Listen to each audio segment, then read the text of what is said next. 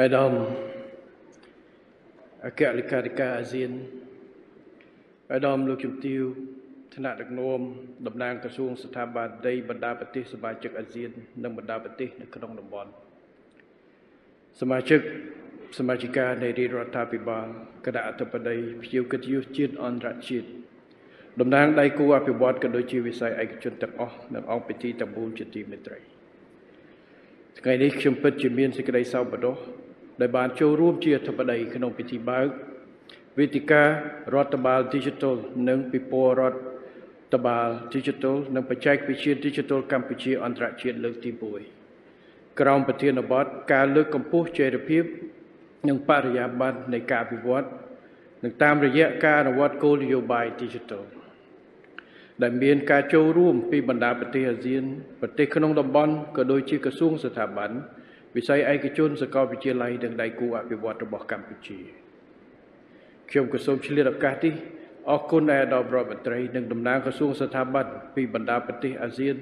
និងប្រទេសក្នុងតំបន់ដែលបានអញ្ជើញមកចូលរួមដោយផ្ទាល់វត្តមានរបស់អាដាមនិងតំណាងទាំងអស់ក៏ដូចជាការចែករំលែកនៅឧត្តមមានវត្តដ៏ល្អល្អទាំងធ្វើឲ្យពិព័រណ៍នេះកាន់តែមានភាពអធិកធមអត្តន័យកាន់តែជ្រាលជ្រៅនិងពោពេញទៅដោយចំណេះដឹង ផ្អែកលើរបាយការណ៍របស់អាដាមជាវណ្ដេតរដ្ឋមន្ត្រីក្រសួងប្រៃសណីនិងទូរគមនាគមន៍និងជាប្រធានគណៈកម្មាធិការរដ្ឋបាល Digital និងរបាយការណ៍របស់អាដាមបណ្ឌិត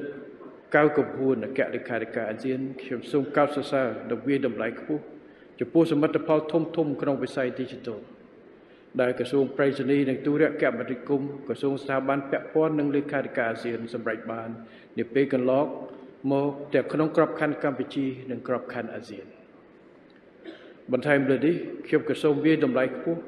ចំពោះការរៀបចំវេទិកាដ៏មានសារៈសំខាន់នេះឡើងរយៈពេល3ថ្ងៃដើម្បីអបអរសាទរសមិទ្ធផលដែលយើងសម្រេចបានកន្លងមកព្រមទាំងរួមគ្នាបង្កើតសមិទ្ធផលថ្មី តាមរយៈការពិភាក្សាផ្លាស់ប្ដូរបតិយោបល់ចែករំលែកបទពិសោធន៍និងឧត្តមមានអវត្តល្អល្អលើគំនិតផ្ដួចផ្ដើមនិងកិច្ចសហប្រតិបត្តិការឌីឌី ព្រមទាំងជំរុញការអភិវឌ្ឍសេវាសាធារណៈ Digital ថ្មីថ្មីបន្ថែមទៀតដើម្បីឆ្លើយតបឲ្យទាន់ពេលទៅនឹងកំណើននៃតម្រូវការថ្មីរបស់ប្រជាពលរដ្ឋកម្ពុជា និងអាស៊ាននិងក្នុងដំណើរឆ្ពោះទៅកាន់សេដ្ឋកិច្ចនិងសង្គម Digital ពេញលេញអាដាមលោកជំទាវលោកលោកស្រីរាជរដ្ឋាភិបាលនីតិកាលទី7នៃរដ្ឋសភានេះ បានប្រកាសដាក់ឲ្យអនុវត្តយុទ្ធសាស្ត្របញ្ចកោណដំណាក់កាលទី1ដោយបានកំណត់ជាអាទិភាពចំនួន5គឺបដុផ្លូវទឹកភ្លើងនិងបច្ចេកវិទ្យាក្នុងនោះបច្ចេកវិទ្យាគឺជាអាទិភាពថ្មីមួយ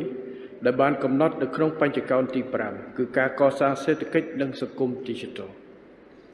បន្ថែមលើនេះរាជរដ្ឋាភិបាលក៏បានដាក់ឲ្យអនុវត្តក្របខ័ណ្ឌគោលនយោបាយសេដ្ឋកិច្ចនិងសង្គម Digital កម្ពុជា2021-2035 គោលនយោបាយរដ្ឋាភិបាល Digital កម្ពុជា2022-2035គោលនយោបាយអភិវឌ្ឍបច្ចេកវិទ្យាហិរញ្ញវត្ថុកម្ពុជា2023-2028ព្រមទាំងបានបង្កើតគណៈកម្មាធិការបច្ចេកទេសចំនួន3ជាសេនាធិការដឹកនាំសម្របសម្រួលតាមផែនទី1ទី1ដែលក្នុងនោះមានទី1គណៈកម្មការសេដ្ឋកិច្ចនិងធុរកិច្ច Digital ទី2គណៈកម្មាធិការរដ្ឋបាល Digital និងទី3គណៈកម្មាធិការសន្តិសុខ Digital ក្របខ័ណ្ឌគោលនយោបាយនេះជាផែនទីចង្អុលផ្លូវមួយជាមួយនឹងចក្ខុវិស័យវែងឆ្ងាយក្នុងការកសាងសេដ្ឋកិច្ចនិងសង្គម Digital រស់រវើកតាមរយៈការរៀបចំមូលដ្ឋានគ្រឹះជំរុញការយកទទួលយកនិងការធ្វើបដិវត្តកម្ម Digital នៅក្នុងគ្រប់តួអង្គសង្គមទាំងរដ្ឋពលរដ្ឋធុរជន ដើម្បីជំរុញសន្ទុះកម្ដៅសេដ្ឋកិច្ចថ្មីនិងលើកកម្ពស់សុខុមាលភាពសង្គមសម្រាប់កម្ពុជា ការធ្វើបរិវត្តកម្ម Digital គឺជាការចាប់យកនិងការទាញយកផលប្រយោជន៍ជាអតិបរមាពីការរីកចម្រើននៃបច្ចេកវិទ្យាទូរបច្ចេកវិទ្យាគមនាគមន៍និងព័ត៌មាននិងបច្ចេកវិទ្យា Digital ដើម្បីបង្កើនផលិតភាពនិងប្រសិទ្ធភាពសេដ្ឋកិច្ចព្រមទាំងជំរុញកំណើនសេដ្ឋកិច្ចជាតិនិងកសាងសង្គមស៊ីវិល័យដែលពលរដ្ឋអាចទទួលបាននូវផលប្រយោជន៍ពីការប្រើប្រាស់សេវា Digital ប្រកបដោយបរិយាបន្ន ភាពជឿទុកចិត្តបាន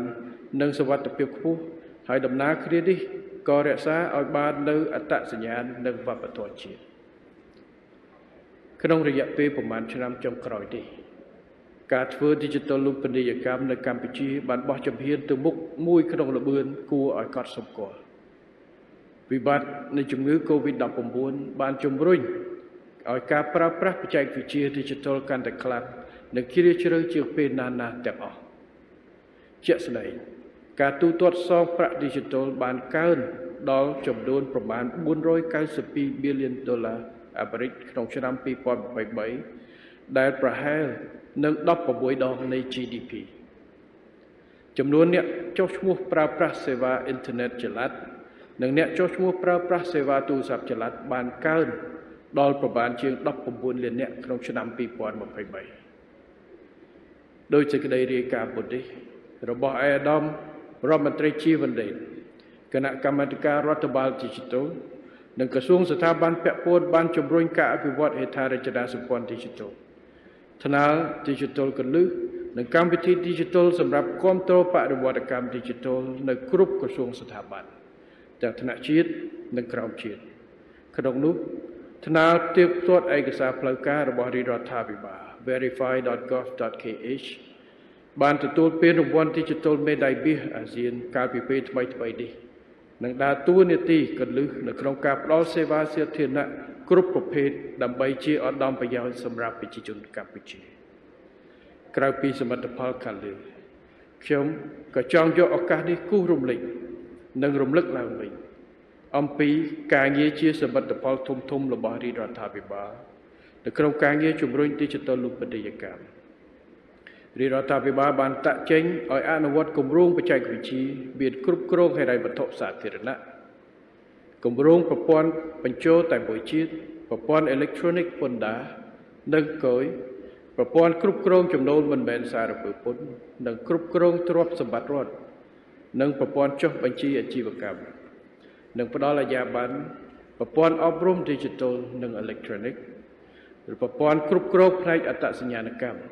ប្រព័ន្ធគ្រប់គ្រងដីធ្លីនិងយានយន្តជាដើមនៅក្នុងនោះ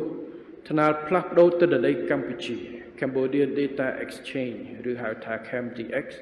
ដែលជាថ្នាលកន្លឹះមួយត្រូវបាននិងកំពុងប្រើប្រាស់យ៉ាងសកម្មដោយស្ថាប័នសាធារណៈនិងវិស័យឯកជន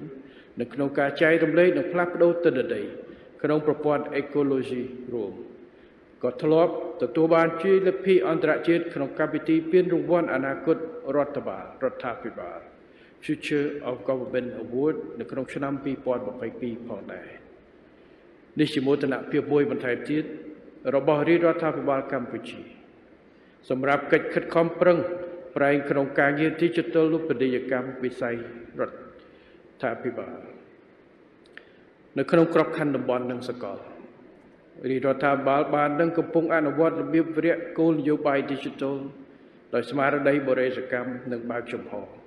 សម្ដៅសម្រេចឲ្យបាននូវគោលដៅអភិវឌ្ឍ Digital ជាតិនិងគោលដៅអភិវឌ្ឍ Digital តំបន់និងសកលដោយមានកំណត់ក្នុងផែនការមេ Digital ASEAN ឆ្នាំ2025និងយុទ្ធសាស្ត្រ Digital 2022-25របស់អង្គការសហប្រជាជាតិទន្ទឹមនេះ កម្ពុជាបាននឹងកំពុងចូលរួមជាមួយប្រទេសសមាជិកអាស៊ាននៅក្នុងការជំរុញការរៀបចំកិច្ចព្រមព្រៀងក្របខ័ណ្ឌសេដ្ឋកិច្ច Digital ASEAN ដែលរំពឹងថានឹងជួយបង្កើនទំហំសេដ្ឋកិច្ច Digital ASEAN ពី1 trillion ដុល្លារដល់2 trillion ដុល្លារនៅឆ្នាំ2030អាដាមលោកជំទាវលោកលោកស្រីយោងតាមរបៀបរបបដែលខ្ញុំទទួលបាន វេទិកានេះនឹងមានការរៀបចំនៅកិច្ចពិភាក្សាផងដែរដូច្នេះដើម្បីជាជាតិចូលបន្ថែមដល់កិច្ចពិភាក្សាខ្ញុំសូមស្នើឲ្យអង្គវេទិកាផ្ដោតការយកចិត្តទុកដាក់ទៅលើចំណុចជាកលឹះដូចខាងក្រោមទី1ការឆ្លើយតបនឹងការវិវត្តយ៉ាងឆាប់រហ័សនៃបច្ចេកវិទ្យា Digital ថ្មីថ្មីជាពិសេសបច្ចេកវិទ្យាបញ្ញាសម្បត្តិនិម្មិត Generative AI ដែលម្យ៉ាងនាំឲ្យមានការជំរុញនវានុវត្តន៍និងបង្កើនផលិតភាពនិងម្យ៉ាងទៀតនាំឲ្យមានកំណើននៃរំហូរទិន្នន័យឯកជនប្រជាពលរដ្ឋនិងការប្រើប្រាស់ទិន្នន័យទាំងនោះឆ្លងកាត់ព្រំដែន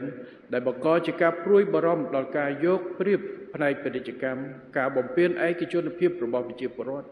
និងការគំរាមកំហែងសន្តិសុខ Cyber ជាដើមទី2ការសម្រួចបន្ថែម លើវិធានការគោលនយោបាយពាក់ព័ន្ធនឹងការអនុវត្តកម្មវិធីបរិវត្តបរិវត្តកម្មរដ្ឋបាល Digital ដោយប្រើប្រាស់អភិក្រមរដ្ឋបាលទាំងមូល Open Whole of Government Approach និងការបើកចំហសម្រាប់ការចូលរួមពីគ្រប់តួអង្គទី3ការធ្វើសុខដុមរមណីយកម្មលើគោលនយោបាយបទបញ្ញត្តិ ស្តង់ដាររវាងប្រទេសក្នុងតំបន់ដើម្បីជួយសម្រួលនៅក្នុងការធ្វើពាណិជ្ជកម្មនិងសេវា Digital ក៏ដូចជាការពង្រីកនៅការចែករំលែកចំណេះដឹងនិងបទពិសោធន៍ទី4ការកំណត់ចលករកន្លឹះជំរុញការកសាងមូលធនមនុស្ស Digital និងវិធីសាស្ត្រជំរុញសន្ទុះនៃការបង្កើនសមត្ថភាពចាប់យកនិងប្រើប្រាស់បច្ចេកវិទ្យា Digital របស់ប្រជាពលរដ្ឋទី5ការពង្រឹងយន្តការតំបន់ ដើម្បីឆ្លើយតបនឹងបញ្ហាសន្តិសុខ Cyber និងបទល្មើសតាមប្រព័ន្ធបច្ចេកវិទ្យាជាអាចការឆោបោកតាមប្រព័ន្ធអនឡាញដូចជា online scam និងព័ត៌មានក្លែងក្លាយ fake news ខ្ញុំសង្ឃឹមថាវេទិការបស់យើងអាចដំណើរការទៅដោយរលូននិងសូមលើកទឹកចិត្តឲ្យមានការចូលរួមពិភាក្សាឲ្យបានផុសផុលដើម្បីទទួលបានលទ្ធផលជាផ្លែផ្កាជាទីបញ្ចប់ ខ្ញុំសូមជូនពរអាដាមលោកជំទាវគណៈធិបតីនិងអង្គពិធីទាំងមូលសូមមានសុខភាពល្អនិងទទួលបានជោគជ័យក្នុងគ្រប់ភារកិច្ចនិងសូមប្រកបដោយពុទ្ធពរនិងពរទាំង5ប្រការគឺអាយុវណ្ណៈសុខៈពលៈនិងបដិភិនៈកំបីឃ្លៀឃ្លាតឡើយខ្ញុំសូមប្រកាសបើកវេទិការដ្ឋាភិបាល Digital និងពិព័រណ៍រដ្ឋាភិបាល Digital និងបច្ចេកវិទ្យា Digital កម្ពុជាអន្តរជាតិលើកទី1ចាប់ពីពេលនេះតទៅសូមអរគុណ